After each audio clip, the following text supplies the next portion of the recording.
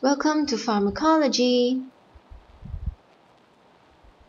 In this section, we'll talk about the GERD, which is, refers to the gastroesophageal reflux disease. Some people also call it as GERD. So in this section, we'll focus mainly on the pharmacology of GERD. So bear in mind the clinical stuff and the management of the overall disease will that you will go through it more in the class itself. So what is the condition of GERD or GERD? So it refers to a very very common condition uh, that a lot of people have experienced it before whereby this lower esophageal sphincter which actually normally constrains the gastric acid in the stomach itself um, somehow opens a little bit which then allows the acid in the stomach to go to move upwards into the esophagus. And do bear in mind that the esophagus the structure of it is not meant to withstand the acidity of the stomach. So therefore it causes this burning sensation in people. Because it's like it's too acidic that sort of like eats up that yeah, scales through the surface of the tissue. So in this section, uh, you're supposed to know a little bit about the symptoms of GERD, the causes, and also the treatment, which includes the pharmacological and the non-pharmacological treatment this. So the common symptoms, which would be heartburn and acid regurgitation. Some people may experience dysphagia, which is the difficulty of swallowing, and also esophagitis, which is the inflammation of the esophagus. Heartburn refers mainly to the burning sensation at the back of the of the mouth that people will feel when you sort of like feel or taste the acid in a way. Right, so it's actually common um, for people who actually maybe um, after they have a very very full buffet meal for example. So the pressure somehow it is the, the stomach is too full literally so that sphincter is a little bit loose indirectly for some people. And obviously not everyone will get this. And another population of people that commonly gets GERD is people who are pregnant so for pregnant women the baby itself um, actually imposes some pressure on the stomach which then increases the chances of having GERD in this population of people. So do bear in mind there's a lot of simple lifestyle modifications that a person could undertake right, to reduces the chances of getting this GERD attack, this heartburn attack.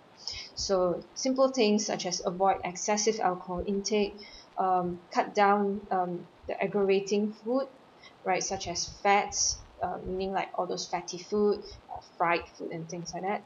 Um, the weight uh, is also linked to overweight obesity is also linked to GERD as well. So appropriate weight reduction will also reduces the chances of having GERD symptoms smoking cessation and also for people especially those who uh, have what we call nocturnal GERD symptoms that they only mainly get it before they sleep so it's also quite advisable for them to actually raise the head of the bed so that person is sort of slanting to allow not really not not really like sit up position but slightly slanting a little bit so that the gravity somehow helps the acid to stay more in the stomach than going upwards.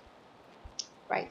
So there's a simple group of drugs chemicals that can be used to relieve the symptoms of GERD so these are very localized treatment. Basically something very simple whereby the person when they experience GERD symptoms like heartburn so they just need to take the antacids and you just clear the symptoms off.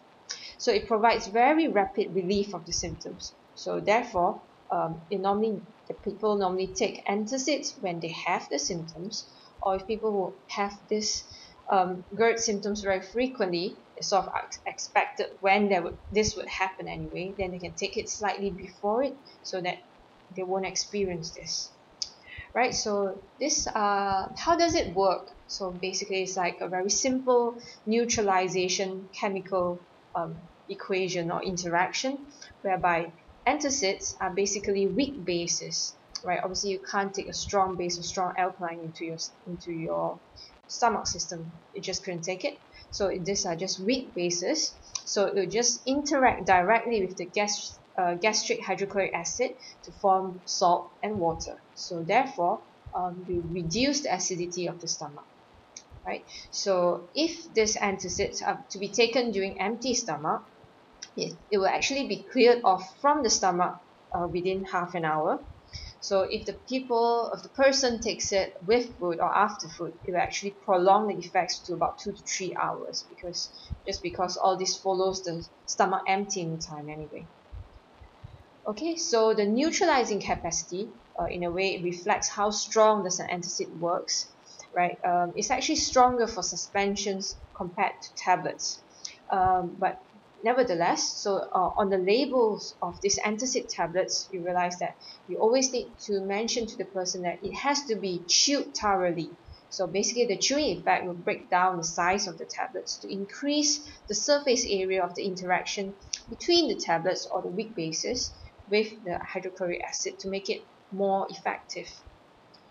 Right, so there's a few points that you need to know as well that you need to tell the person who is, who is taking antacid is that you should not it should not be give be taken together with other drugs within two hours of the antacid.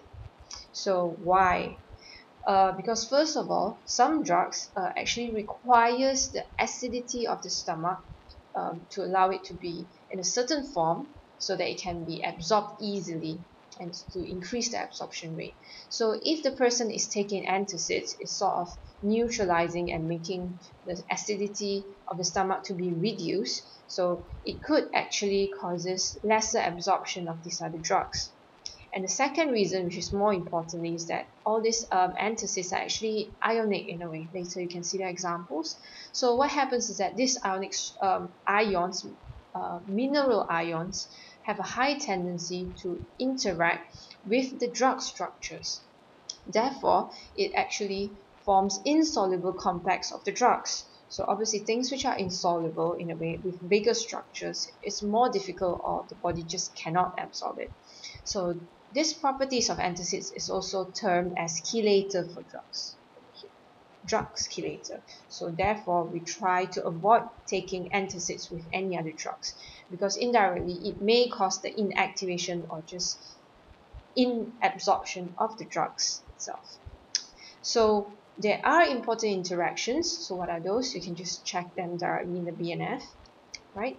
So although antacids are relatively one of the very very safe drugs available, they are available over the counter anyway, right? Because the effects are very simple, it doesn't act uh, on any through any receptors and so on and so forth. It's just very normal chemical neutralization interaction. Therefore, it also causes quite minimal systemic absorption of these antacids. Uh, but for certain populations of people, for example, if they have hepatic or renal impairment, they should still avoid taking large amounts of these antacids. Right? So again, because it's slightly safer, there's minimal systemic absorption, um, it's actually quite safe to be taken in pregnant women as well. Okay, so next we'll go through the types of antacids available. So the first one here is actually calcium carbonate. It's less likely to use now, but it's still available. So what happens is that it's very good in the sense that it's very rapidly acting, but from the carbonate side of the structure, it can cause the release of carbon dioxide gases, whereby when the gases are trapped in the GI tract or the gastrointestinal tract, it can cause belching, flatulence, nausea, vomit, nausea, no vomiting, um, abdominal distension, which is unpleasant for the person. So, and another thing is that the calcium may actually induce rebound acid secretion, meaning when the effect of the calcium carbonate is wear off, uh, because it's just maximally 2 to 3 hours, it can actually somehow triggers the stomach to actually secrete more uh, HCl in the next round. So therefore, it can actually cause another round of GERD symptoms. So that's why it requires more frequent administration if you take this calcium carbonate, meaning the effects wear off, take more effects. So effective, take more, so on and so forth. So the newer ones that we are moving towards uh, is actually another few as listed. So this is aluminium hydroxide. So again, another mineral ion. So interestingly, this aluminium ion actually causes a slow acting effect of the of neutralizing um, the gastric acid. So and it actually causes constipation because it actually relaxes the gastric smooth muscles. There's another component which is called magnesium hydroxide. You can see it's um, actually opposing opposing the effects of aluminium hydroxide, whereby magnesium is the rapid acting one. So however, it actually causes diarrhea. So it's again um, the other way around. So therefore, if you want to get the best of both worlds, so what do you have? What imagine what would happen if you combine both aluminium hydroxide and magnesium hydroxide into as uh, one of the preparation of antacids.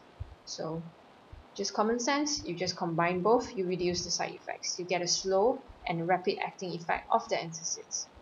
Right, so meaning the effect can be very fast and the effect can last longer. Right, so there's another component which is quite interesting, which is something totally different in a way, it, which is called simeticone.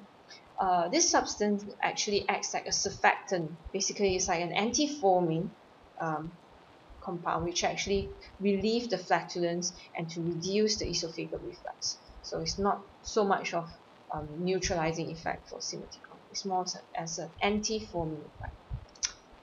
Okay, so when you compare the antacids which are available in the market, right, you can see that there's um, a few common names, right, Gelusil and so on and so forth, Maalox and so on.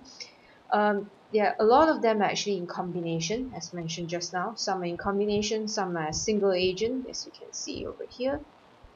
Some are in liquid form, some are in tablets form. Right, and there's this section here called acid neutralizing capacity.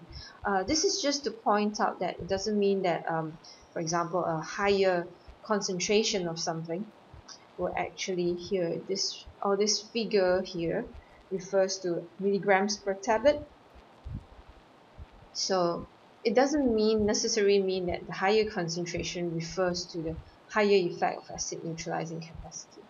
Right, so some has higher, some has lower. So you can just refer to the chart.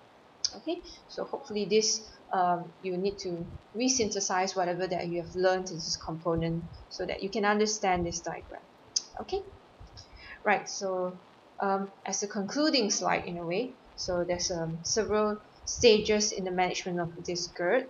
So the stage one, which is the simple one, which is sporadic, just randomly, uncomplicated, not very frequent, there's no additional symptoms, so it's just lifestyle modification and antacids as well. So there are some other drugs which are mentioned here like uh, histamine H2 antagonists, proton pump inhibitors and so on. Uh, we'll go through more of that in the PUD class, in the PUD section later on right? So um, there's also stage the worse the stage it is so the more frequent it is so the, the management of the disease becomes more um, more proactive and more uh, aggressive in a way. So but over here we are mainly focusing on the the milder stage ones which mainly includes the lifestyle modification and antacids alright so that's all for now. Thank you